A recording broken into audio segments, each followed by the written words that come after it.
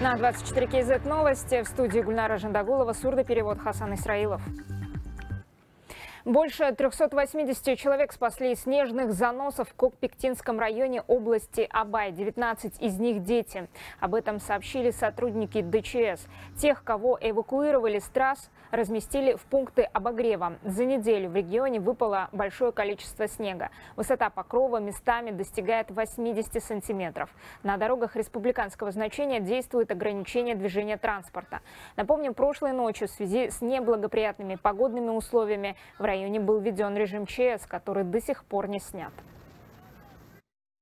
Специальная операция по спасению людей в Кокпетинском районе завершена. Все машины, оказавшиеся в снежных заносах, обследованы. Людей в машинах не имеется. С завтрашнего утра будут продолжены работы по очистке автодороги и вызволению техники из снежных заносов.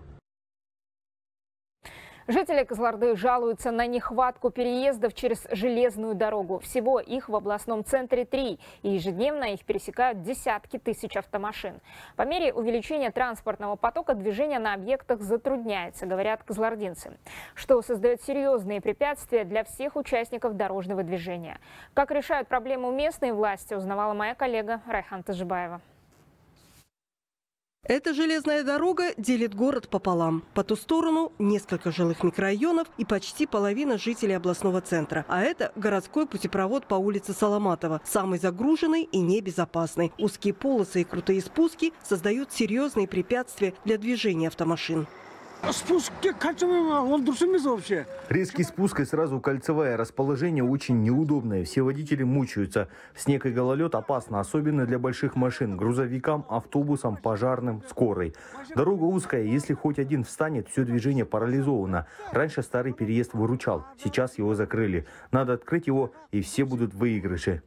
А это тот самый старый переезд. Движение автотранспорта по нему запретили с появлением путепроводов. Однако по-прежнему им пользуется пешеход. Чтобы перейти на противоположную сторону, люди вынуждены рисковать. Причем не один раз в день. Хожу часто через линию. Иногда вот маневровый идет или поезд. Здесь столько людей собирается. Иногда целый час мы стоим. Люди лезут под вагоны. Это же опасно. Вот встанет и целый час здесь поезд стоит. Местные власти в курсе проблемы. Для удобства автовладельцев и пешехода на месте старого переезда решили строить подземный путепровод. К работам обещают приступить в этом году. С увеличением транспортного потока подземный путепровод будет построен по улице Жанкожа Батыра. Проект одобрен. Его общая стоимость 4 миллиарда 100 миллионов тенге. Определена подрядная компания. 500 миллионов из республиканского бюджета уже выделено. Строительство объекта планируют начать весной, а сдать путепровод намерены через полтора года. Райхан Тажибаева, Ахан Алиев, Козларда, 24 КЗ. Крупный пожар на складе с газовыми баллонами в Алматы потушен. Жертвы и пострадавших нет, сообщили в ДЧС. Напомню, с пламенем боролись больше 120 спасателей. Им удалось локализовать возгорание и не допустить распространения пожара на соседние здания, в том числе на гостиницу неподалеку. Как отметили спасатели, тушение затянулось из-за взрыва опасных предметов на складе. Что стало причиной пожара, пока неизвестно.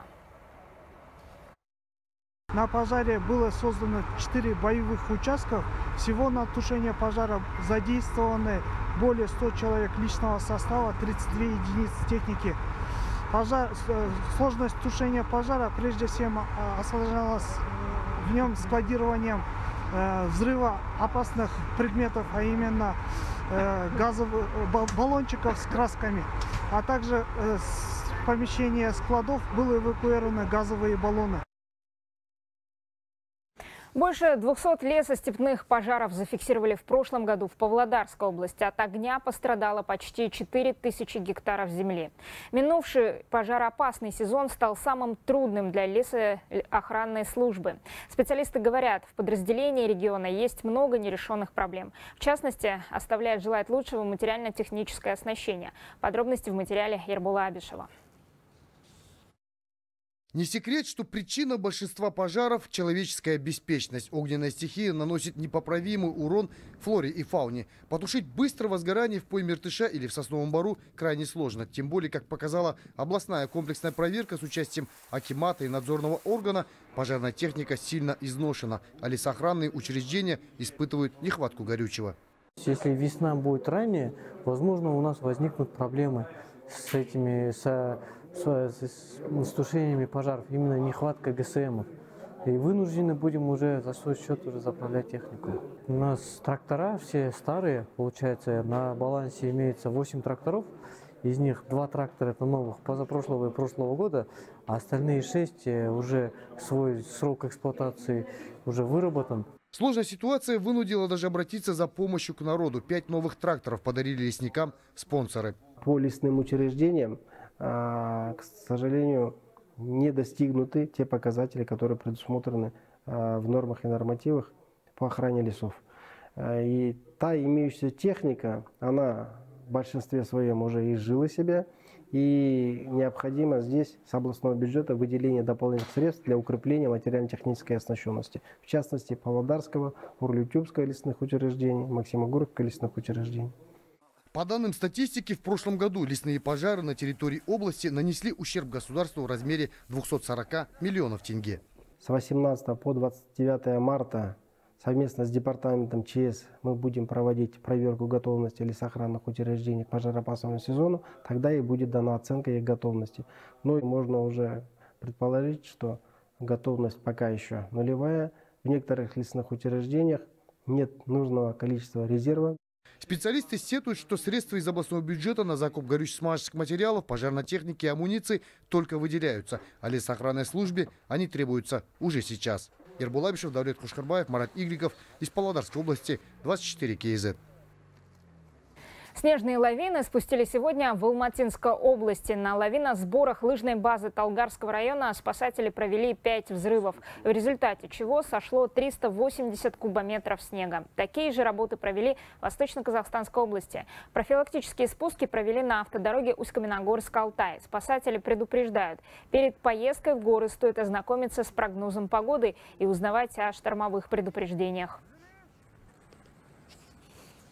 И к другим темам. Казахстанские миротворцы получили возможность самостоятельного участия в миссии ООН по наблюдению за разъединением на голландских высотах. Об этом сообщили в Министерстве обороны. Делегация ведомства посетила штаб-квартиру ООН. Там подписали соответствующий меморандум о взаимопонимании. Отмечу, голландские высоты – спорная территория на Ближнем Востоке. Большую ее часть в настоящее время контролирует Израиль, а восточную – Сирия. В Нью-Йорке делегация встретилась также с заместителем генсекретаря секретаря ООН по оперативной поддержке. Прошли рабочие встречи с представителями структурных подразделений. Стороны обсудили дальнейшие перспективы расширения и укрепления миротворческого потенциала Казахстана. Для Казахстана это исторический шаг. Если раньше наш миротворческий контингент проходил службу в составе подразделений других стран, то теперь это самостоятельная миссия. Участие в миротворческих миссиях важный компонент обучения, способствующий повышению боевой выучки военнослужащих. Сильные дожди вызвали масштабные оползни в столичном регионе Боливии. В результате обрушились десятки зданий. Жители спасают имущество из затопленных домов, не дожидаясь прибытия экстренных служб. Сотни человек были эвакуированы. При этом, как сообщает Национальная метеорологическая служба Боливии, по интенсивности осадки, прошедшие на этой неделе, побили 20-летний рекорд. Афганистан по-прежнему нуждается в помощи, а чтобы в стране были мир и стабильность, необходима поддержка соседних государств. Такое мнение выразили участники шестого регионального диалога секретарей Советов Безопасности по вопросам Афганистана, который прошел в Бишкеке. Бакыт Чермашев с подробностями. Многосторонняя встреча секретарей Советов безопасности по афганской проблематике впервые проходит в Бишкеке. В диалоговой площадке участвуют представители из Китая, Индии, Ирана, России, а также Таджикистана, Кыргызстана и Узбекистана. Казахстанскую делегацию возглавил помощник главы государства, секретарь Совета безопасности Гизат Нурдаулетов. На правах хозяина президент Садыр Джапаров поприветствовал гостей и отметил важность поиска общих позиций. Особенно актуальный вопрос афганской государственности. Мы выступаем за скорейшее преодоление кризисных явлений, э, которые накопились в Афганистане и мешают афганской государственности встать на ноги, а многострадальному афганскому народу наконец-то обрести долгожданный мир и безопасность. По общему мнению участников встречи, урегулирование ситуации в Афганистане остается для международной общественности одним из главных приоритетов в обеспечении стабильности и безопасности всего региона. Как и прежде, речь о всемирной поддержке экономики республики, которая, встав на ноги, смогла бы обеспечить гражданам страны полноценное существование. Пока же, по данным ООН, треть из 40-миллионного населения нуждается в продовольствии. 3 миллиона жителей едва сводят концы с концами. Исходя из текущей обстановки, можно сделать вывод, что на ближайшую перспективу на афганском треке сохранится состояние неопределенности. Под воздействием различных факторов текущее положение дел может динамично поменяться, что требует постоянной корректировки и согласованности курсов и предпринимаемых действий. Страны-участники диалога заинтересованы в том, чтобы в Афганистане не было допущено эскалации процессов военного и террористического характера. Один из важных итогов встречи – придание диалоговой площадки по вопросам Афганистана более весомого международного масштаба. В связи с этим следующие переговоры по ситуации в стране планируют провести на полях саммита Шанхайской организации сотрудничества.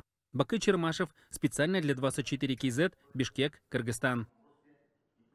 В Индии продолжаются протесты фермеров. Массовые демонстрации не стихают там уже около недели. Аграрии блокируют движение на автомагистралях и железных дорогах.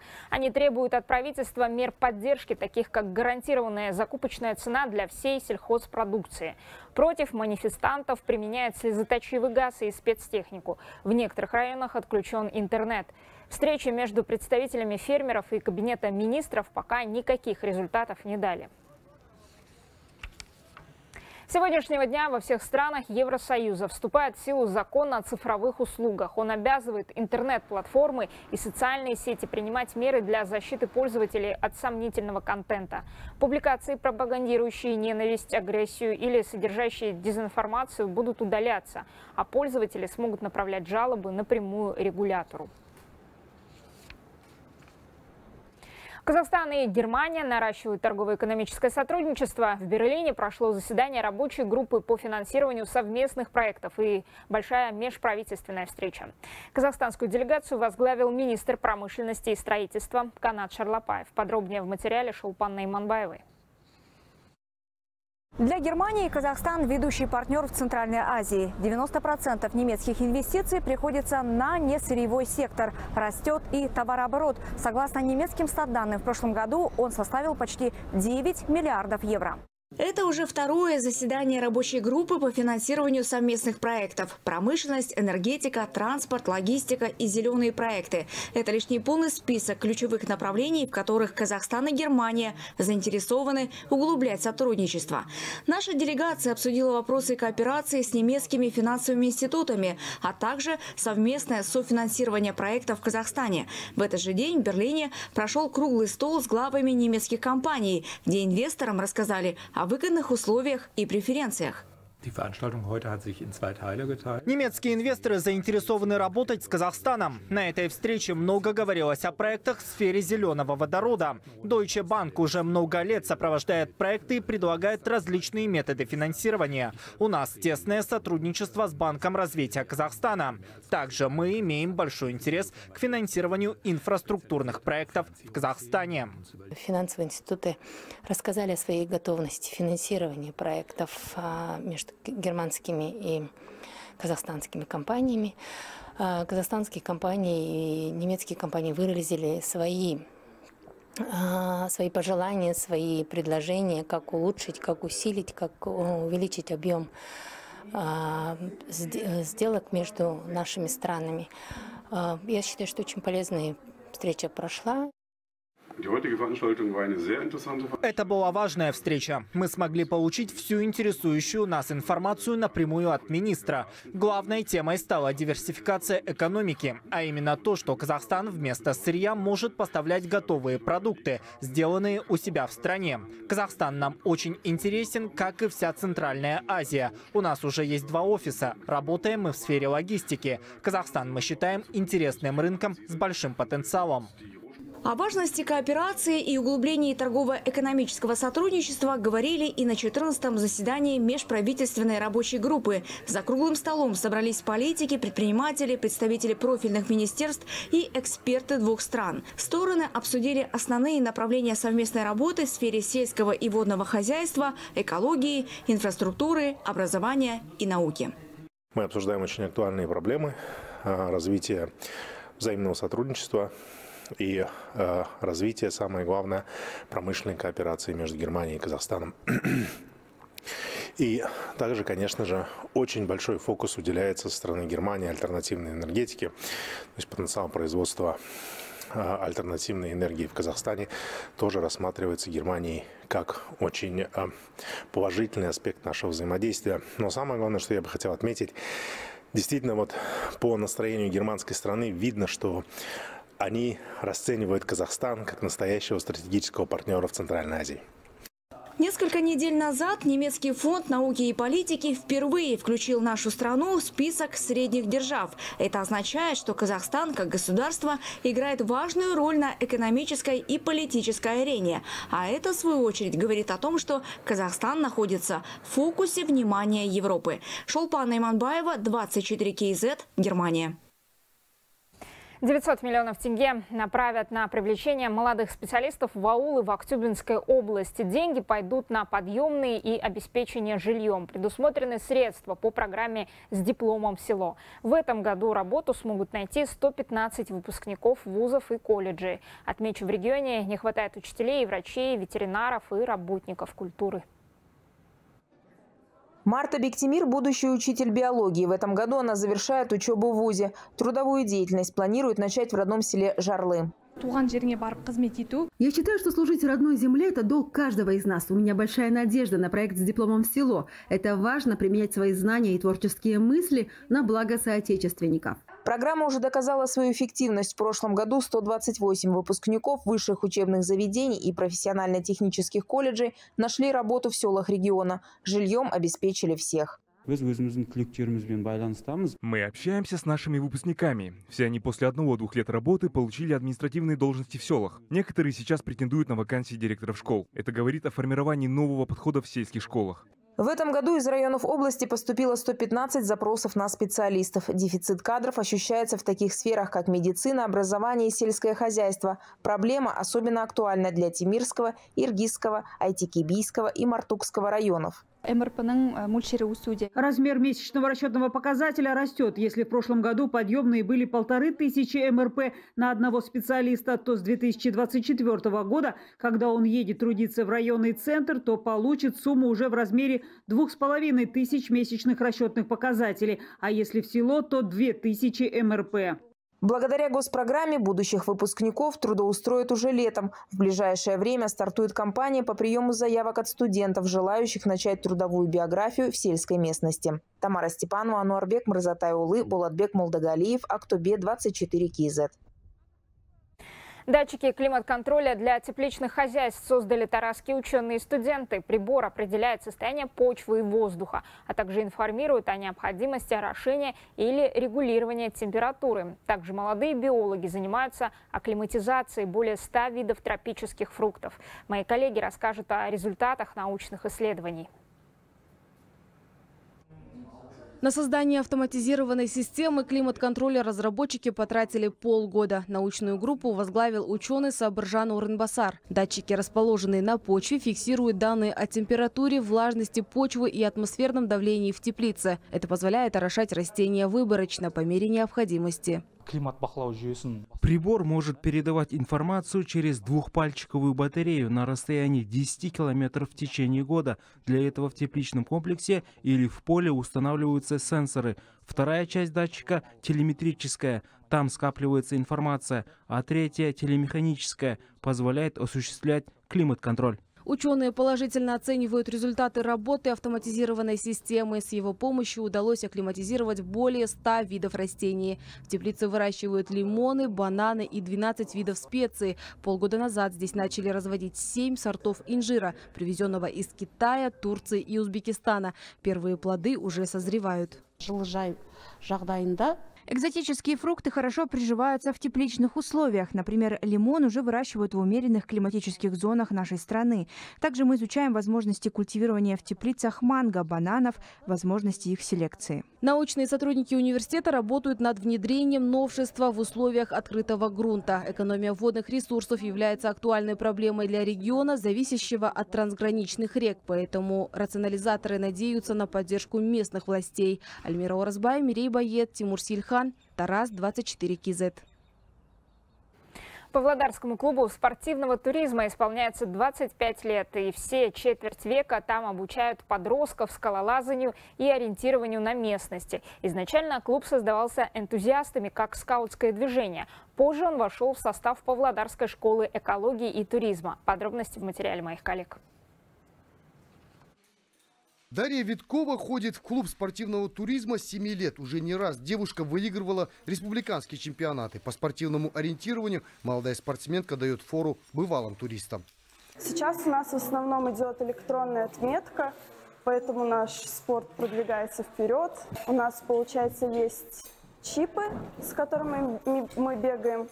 А, на них записывается информация, когда мы прибегаем на контрольный пункт, а, отмечаемся, выписывается номер контрольного пункта и время, за которое мы пробежали.